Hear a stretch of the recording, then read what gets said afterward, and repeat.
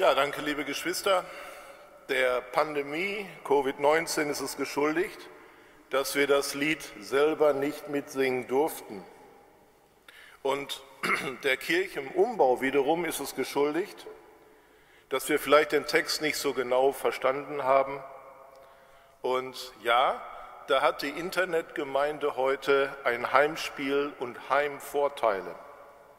Damit es aber ein wenig kompensiert wird, habe ich das Lied von Manfred Siebald, wenn ihr es zu Hause nachlesen wollt, 710 im Gesangbuch, einmal ein Vers abgedruckt. Da heißt es, du hast gesagt, du kommst zurück und alle werden dich sehen. Du allein weißt den Augenblick, doch alle werden dich sehen.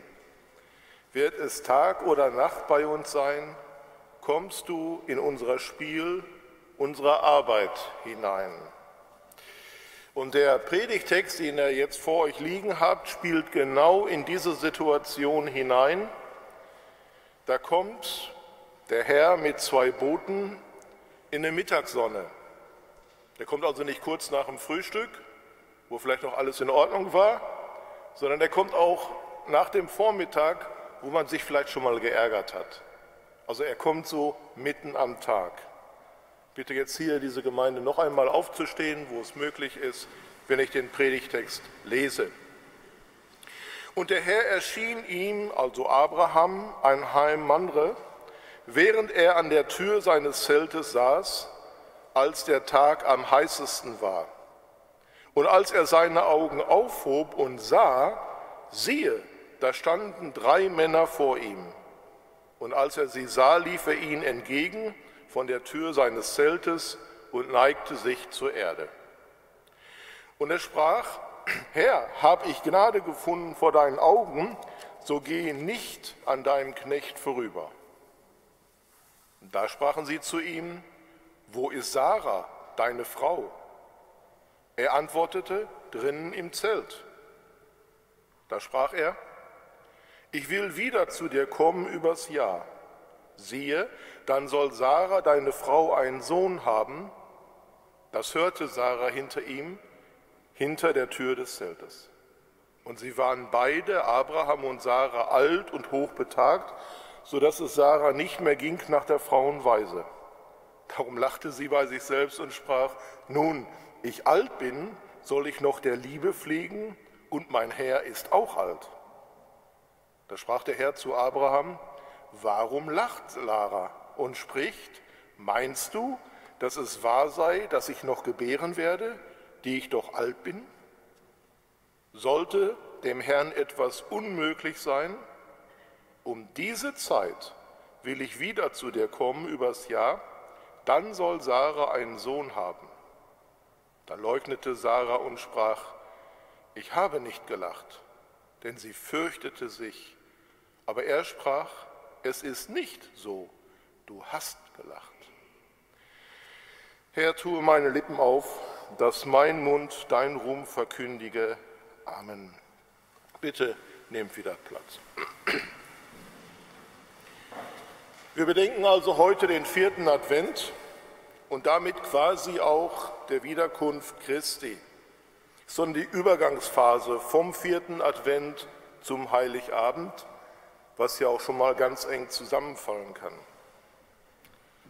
Und da möchte ich die Gemeinde grundsätzlich die Frage stellen, bist du bereit von Gott oder bist du bereit, dich von Gott unterbrechen zu lassen? Konkreter wäre sogar die Frage, wärst du bereit, dich von Gott unterbrechen zu lassen? Und alleine bei dieser Fragestellung ist mir aufgefallen, eigentlich lassen wir uns gar nicht gerne unterbrechen. Wir sind doch durchgetaktet. Wer trägt in seinem Kalender vielleicht einen Zahnarzttermin? Ja, aber wer trägt in seinem Kalender eine andere Situation ein? Dass es mal vielleicht mit dem Blutdruck nicht so klappt? Oder dass man einen Autounfall noch erklären muss? Oder sonstiges?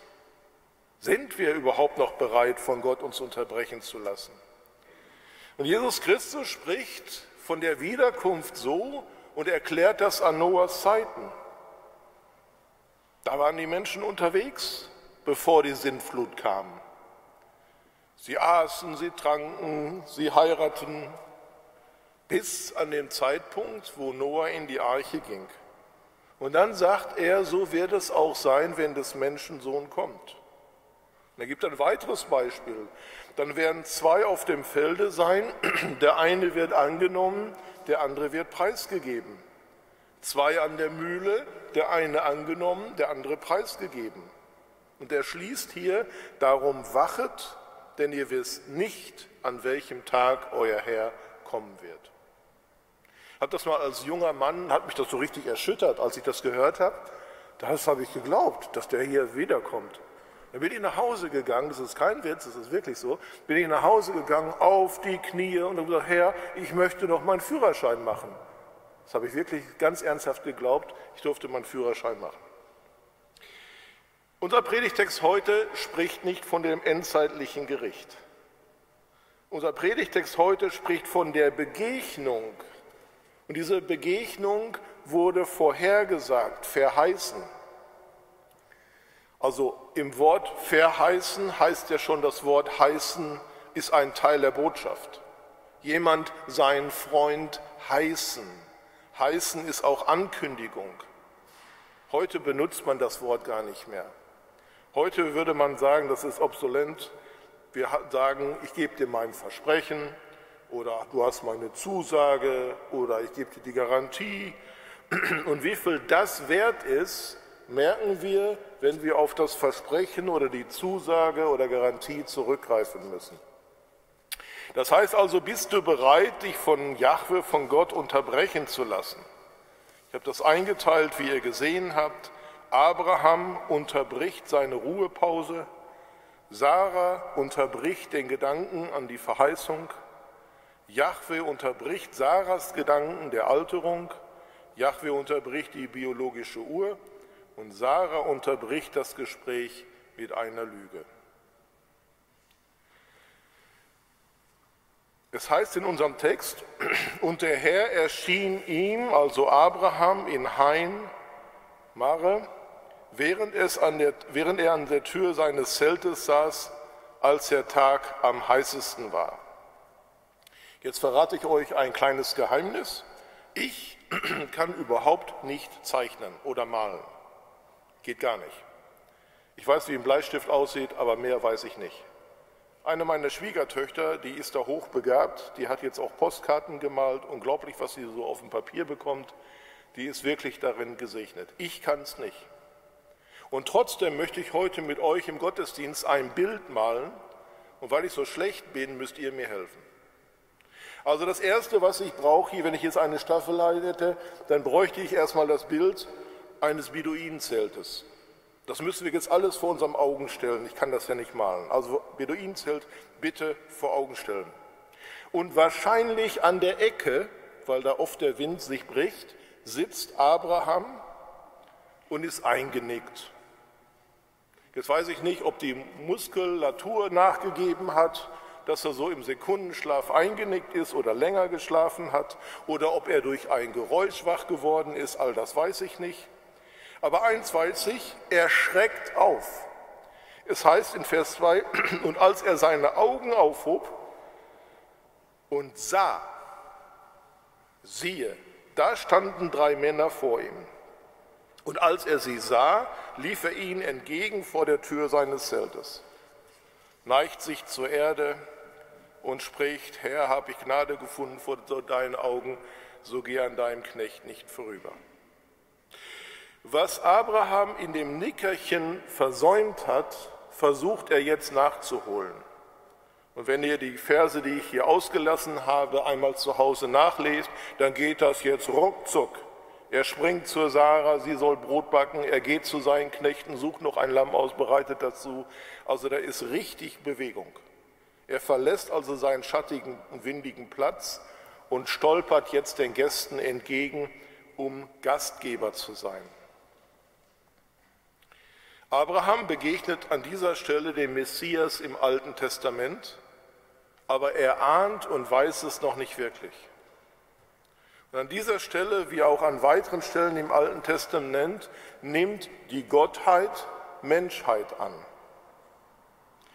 Die Verse der Bewirtung, die ich hier vorgelesen und ausgedruckt habe, können ein Hinweis, können ein Hinweis sein auf das, was Jesus uns im Neuen Testament sagt. In Matthäus 25 heißt es, ich bin hungrig gewesen und ihr habt mir zu essen gegeben. Ich bin durstig gewesen, ihr habt mir zu trinken gegeben. Ich bin ein Fremder gewesen und ihr habt mich aufgenommen. Jesus macht uns deutlich, dass er den Menschen im Menschen begegnet. Aber jetzt zurück zum Bild. Das Beduinenzelt haben wir. Da steht. Vielleicht ist auch Kleinvieh drumherum um das Zelt. Wir sehen den verlassenen Stuhl, auf dem Abraham bis gerade noch saß. Und jetzt sehen wir die drei Männer im Schatten eines Baumes liegend und Abraham steht und serviert als Oberkellner. Da steht also Abraham um seine Gäste. Und jetzt benötigen wir eine Sprechblase. Bist du bereit, dich von Yahweh unterbrechen zu lassen? Der erste Punkt. Sarah unterbricht den Gedanken an die Verheißung. Die Männer im Schatten des Baumes, Abraham steht davor und jetzt die Sprechblase, wo ist Sarah, deine Frau? Er antwortet, drinnen im Zelt. Das ist unglaublich. Das ist Kulturbruch und Widerspruch in sich selbst. In dieser Kultur würde man gar nicht nach der Frau eines fremden Mannes fragen. Das würde man nicht wagen. Und dann ist interessant, woher weiß eigentlich dieser Fremde, vermeintlich Fremde, den Namen der Frau? Und woher weiß er den Status der Ehe, dass sie verheiratet sind? Woher weiß er das alles? Wo ist Sarah deine Frau? Habt ihr jetzt das Bild vor Augen? Schaut mal genau auf das Bild. Da fehlt was. Was fehlt auf dem Bild? Was in dieser Kultur unbedingt zu erwarten wäre? Ja, ihr habt recht. Da fehlt etwas. Und das ist der dritte Punkt in dieser Begegnung. Woher weiß dieser Fremde eigentlich, dass er und Sarah keine Kinder haben?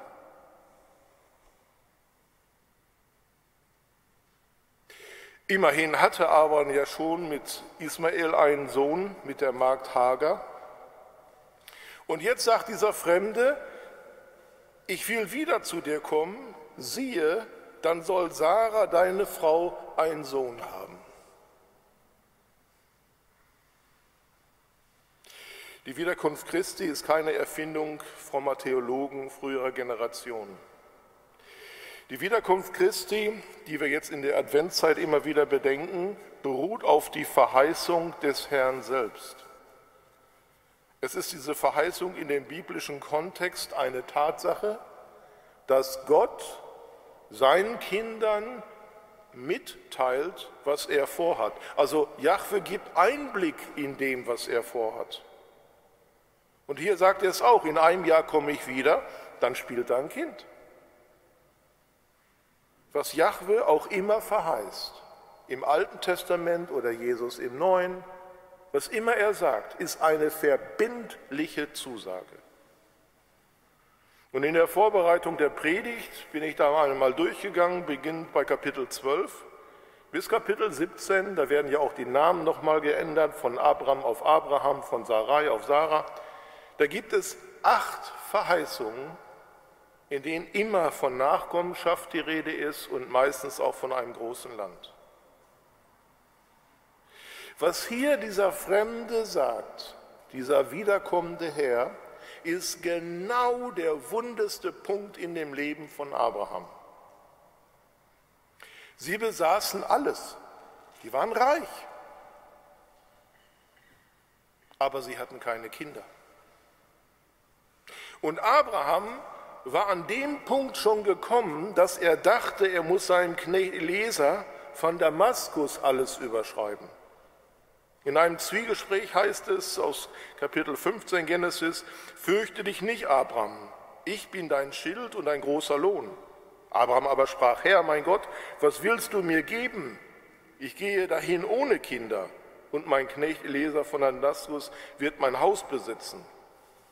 Das tut richtig weh. Abraham sprach weiter, mir hast du keine Nachkommen gegeben. Und siehe, einer von meinen Knechten wird mein Erbe sein. Und siehe, der Herr sprach zu ihm, er soll nicht dein Erbe sein, sondern von deinem Leib kommen wird, der soll dein Erbe sein. Und dann sagt er zu Abraham, jetzt geh mal raus aus deinem Zelt, schau mal im Himmel und fang mal an, die Sterne zu zählen. So zahlreich sollen deine Nachkommen sein. Kennen wir solche mutlosen Situationen? Am Anfang schöpfen wir noch Hoffnung. Wir fangen an zu beten. Wir beten kontinuierlich. Aber irgendwann kommt dann doch eine kleine Durststrecke, dann kommen Zweifel, manchmal folgt dann auch eine gewisse Leere. Werft euren Glauben nicht weg, der eine große Belohnung hat. Was sich Abraham hier sehnlichst mit Sarah wünschen, ist nichts Verwerfliches, aber völlig unerreichbar. Wir leben in einer Zeit, wo uns suggeriert wird, dass wir alles zu jeder Zeit haben können. Und Covid-19 erklärt uns gerade, dass das nur eine Illusion ist. Und da tun sich viele Menschen schwer. Aber das beschreibt hier genau die Situation von Abraham und Sarah. Sie dachten, sie könnten Kinder zeugen und ein glückliches Leben somit abrunden. Und dann haben sie ja auch noch die Verheißung und in dieser Verheißung keimt jetzt die Hoffnung auf. Und trotz des Glaubens, den Abraham vorweisen kann, erfüllt sich nichts bin Apostel Paulus sehr dankbar, dass er in Römer 9, 9 diese Situation aufgreift. Er greift sie auf, um deutlich zu machen, wo Gottes Souveränität ist. Und dass Gottes Souveränität unser Denken übersteigt. Gottes Souveränität wird nämlich hier deutlich, dass er Sarah und Abraham und darüber hinaus auch uns zeigt, dass er seine Verheißung zu seiner Zeit umsetzt. Und was Sarah hört und denkt, das stimmt ja alles. Sie sind alt geworden und sie sind quasi auch zu alt, um einen Kindersegen noch zu erleben. Aber das macht ja gerade deutlich, dass nicht Abraham und Sarah die Entscheidung fallen, fällen, wann sie Kinder bekommen und wie das funktioniert, sondern dass Gott eine Planung hat. Wäre es so, wäre Ismael ganz klar der Erbe, denn er entsprang hier aus menschlicher Weisheit und er entsprang aus der Kraft des Fleisches. Ismael wurde nach dem Fleisch gezeugt, aber hierum geht es gar nicht. Der Herr beschloss in seiner Wunder, äh, Souveränität ein Wunder zu wirken, wie es vergleichsweise auch später bei Maria war. Sarah hatte einen Mann und beide waren jetzt alt geworden. Maria war jung, hatte keinen Mann und trotzdem das Wunder des Heiligen Geistes der Überschattung und der Zeugung eines Kindes. Gerade weil es nicht der menschlichen Logik entspricht, zeigt hier sich Gottes Souveränität. Und auch wir müssen lernen, im praktischen Glauben dies für uns umzusetzen. Schweigen wir, wenn Dinge nicht einzuordnen sind. Glauben wir, wenn sich gerade nichts bewegt. Ja, dann werden wir getestet. Und dann wird auch unser Glaube erwogen. Und das hört Sarah jetzt hier an der Tür des Zeltes, wie auch wir es gehört haben. Was leiten wir davon ab? Kommt zum nächsten Punkt. Jahwe unterbricht Sarahs Gedanken der Alterung. Dass sie alt waren, habe ich häufig genug gesagt. Und ein deutliches Beispiel finden wir eben zu dieser Passage auch im Neuen Testament bei Zacharias und Elisabeth. Zacharias war ein tiefgläubiger Mann, das dürfen wir ausgehen. Und als aber dann die Ankündigung kommt von der Geburt eines Sohnes, da sagt er dem Engel, woran soll ich das erkennen? Denn ich bin auch alt und meine Frau ist betagt. Und wir sehen auch hier wieder die Souveränität Gottes, dass er Dinge, die für uns unmöglich sind, beiseite räumen kann. In dem folgenden Text wird das jetzt hier auch deutlich. Darum lachte sie bei sich selbst und sprach, nur ich alt bin, soll ich noch der Liebe pflegen, mein Herr ist auch alt. Und jetzt kommt der Herr wieder ins Spiel. Er sagt, warum lacht Sarah? Wenn der Herr solche persönlichen Fragen in der Schrift stellt, dann sind wir gut beraten, unseren Namen einmal einzusetzen. Warum lacht Sarah? Vorher haben wir schon gehört, wo ist Sarah? Wenn der allmächtige Herr solche Fragen stellt, dann geht es nie um die Örtlichkeit, sondern um den Zustand des Menschen. Das klingt nach Sorge, wenn Gott der Herr ruft, Mensch, wo bist du? Adam, wo bist du? Es klingt nach Enttäuschung, wenn der Herr sagt, wer hat dir gesagt, dass du nackt bist? Es klingt nach kein, wenn Gott der Herr fragt, warum ergrimmst du? Warum senkst du deinen Blick? Wo ist dein Bruder? Es klingt nach Elia, wenn der Herr ruft, siehe, das Wort des Herrn kam zu ihm, was machst du hier, Elia? Wenige Verse später noch einmal, siehe, da kam eine Stimme zu ihm und sprach, was hast du hier zu tun, Elia? Was weißt du, was du nicht wissen solltest? Wo bist du angekommen in deinem Zustand, in deinem Leben? Wo bist du, wo du nicht sein solltest? Wo ist dein Bruder, deine Schwester? Wo findet dich der Herr, wenn er wiederkommt? Was wird er dich fragen, wenn er wiederkommt? Aus Gottes Sicht ist niemals die Frage nach der Örtlichkeit. Aus der Sicht Gottes ist diese Frage immer nach deiner Gesinnung. Warum lacht Sarah spricht? Du meinst doch, dass es nicht wahr sei. Wisst ihr, es ist jetzt ganz einfach, auf, äh, auf Sarah zu schauen. Abraham lachte an dieser Stelle vorher auch schon einmal. In Kapitel 17, 16 heißt es, da fiel Abraham auf sein Angesicht und lachte und sprach in seinem Herzen, soll mir mit 100 Jahren ein Kind geboren werden und Sarah 90? Die Schrift kennt zwei Arten von Lachen. Das Lachen etwas lächerlich zu machen. Das ist das Lachen des Unglaubens. Unsere Meinung und über dem Schöpfer Himmels und der Erde ist dann zu gering, wenn wir darüber lachen.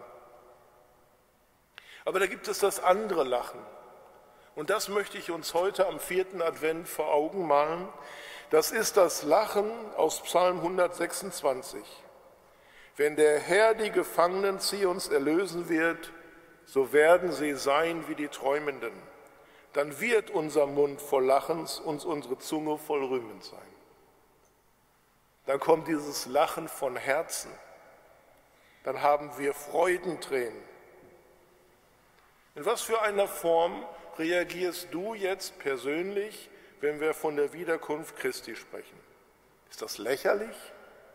Oder würdest du dich darauf freuen und wir sagen, Amen, Herr, komm bald? Bist du bereit, dich von Jahwe unterbrechen zu lassen? Jahwe unterbricht die biologische Uhr. Sollte dem Herrn etwas unmöglich sein, er sagt, um diese Zeit, um ein Jahr will ich wiederkommen und dann wird Sarah einen Sohn haben. Wir können das auch etwas anders übersetzen.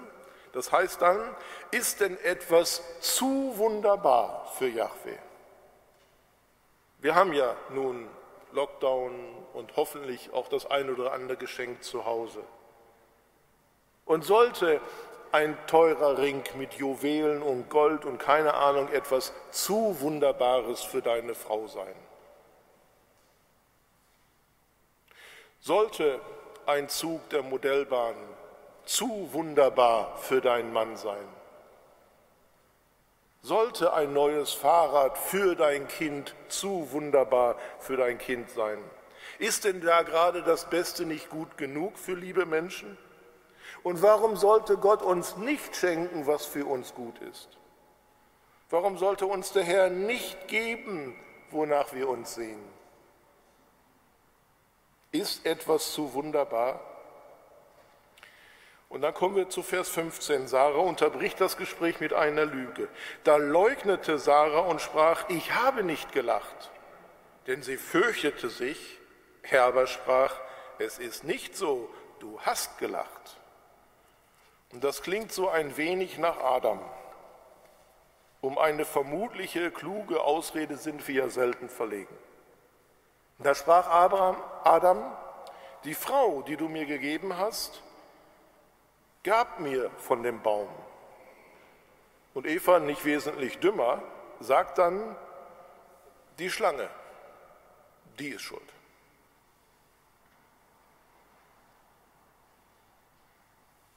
Wem geben wir die Verantwortung für unser Leben? Und das Schöne ist, wenn wir etwas falsch gemacht haben, können wir es bekennen. Und dann ist Gott treu und vergibt uns aber wir müssen es bekennen. Sarah leugnet, weil sie Angst hat, weil sie sich fürchtet. Der Unglaube macht uns furchtsam und unehrlich und der Unglaube führt zu Beschämung und wie wir es auch in der Gesellschaft nennen, zu einer Notlüge. Aber der Herr sagt an dem Punkt, es ist nicht so, du hast gelacht. Wie wird das Urteil des Herrn über unsere Antwort sein? Der Unglaube ist eine Sackgasse. Und am Ende der Sackgasse ist das Wendemanöver fast nicht möglich. Der Unglaube schnürt ab. Aber der Glaube gibt uns die nötige Luft zum Atmen. Der Glaube macht uns kühn und wahrheitsgetreu. Der Glaube gibt uns die Freimütigkeit, mit wahrhaftigem Herzen vor Gott hinzuzutreten. Hebräer 10, lasst uns hinzutreten mit wahrhaftigem Herzen in vollkommenen Glauben.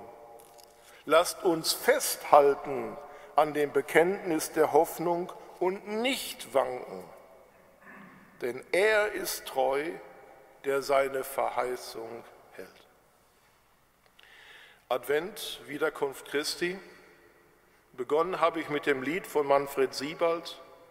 Keiner weiß wann, keiner weiß wie, doch alle werden ihn sehen. Begonnen habe ich auch mit dieser persönlichen Frage, wärst du bereit, dich von Gott unterbrechen zu lassen? Das Lied, das wir gleich nach der Predigt hören, kommt von Karl Georg. Es ist das Klopfzeichen. Ich klopfe an zum heiligen Advent. Unser Herr steht vor der Glastür. Er möchte bei uns einkehren. Bist du bereit, dich von ihm unterbrechen zu lassen? Abraham unterbricht seine Ruhepause. Sarah unterbricht den Gedanken an die Verheißung. Jahwe unterbricht Sarahs Gedanken der Alterung. Jahwe unterbricht die biologische Uhr. Sarah unterbricht das Gespräch mit einer Lüge. Freut euch in dem Herrn alle Wege. Und abermals sage ich, freuet euch. Eure Güte lasst kund sein allen Menschen, der Herr ist nahe. Sorgt euch um nichts, sondern in allen Dingen lasst euer Bitten in Gebet und Flehen mit Danksagung vor Gott kund werden. Und der Friede Gottes, der höher ist als alle Vernunft, bewahre eure Herzen und Sinne in Christus Jesus, unserem Herrn. Amen.